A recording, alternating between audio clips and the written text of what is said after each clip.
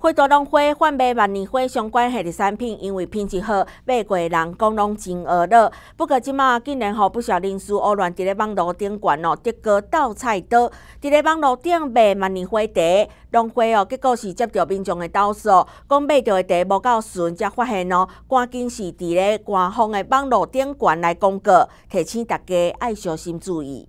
网络顶端看到的消费资讯，一定要进一步确认。花端在地万里花地业者最近是真生气，因为伊辛辛苦苦经营的成果，去互歹人拢摕去用。诶，其实这个其实都心里有个底，因为其实，在新闻上都会看到这种广，就是盗用的广告非常多。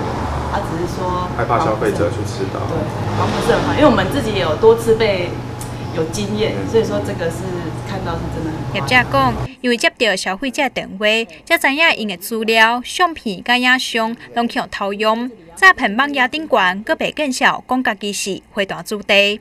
啊，我们一直在想，说上网就看到，哎，怎么会有这样？连我们官网的图都全部都没有版权授权，什么都没有，他们就自己把它截取掉。啊，我们有发现这个有农会的图，还有以前那个中国大陆的土，啊，那个环境都不是在台，有一些不是在台湾的，啊，我们就赶快在网。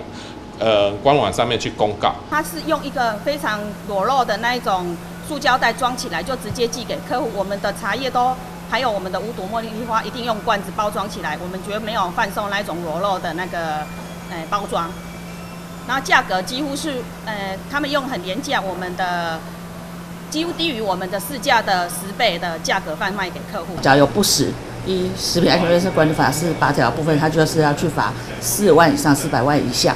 假设说他是用诈骗的手法，他原本的产品价格是很低廉，他用高了好几倍，可能就是有诈术的意思，这个可能就会用，可能就会涉及到刑法的诈欺的部分。花大农会表示，花大万里花地名声真无简单，伫即几年大险，农会辅导的无多万里花，佫开始深受到市场欢迎。不少人士的作为已经严重伤害到花大的花农，将无排除采取法律途径提出告诉。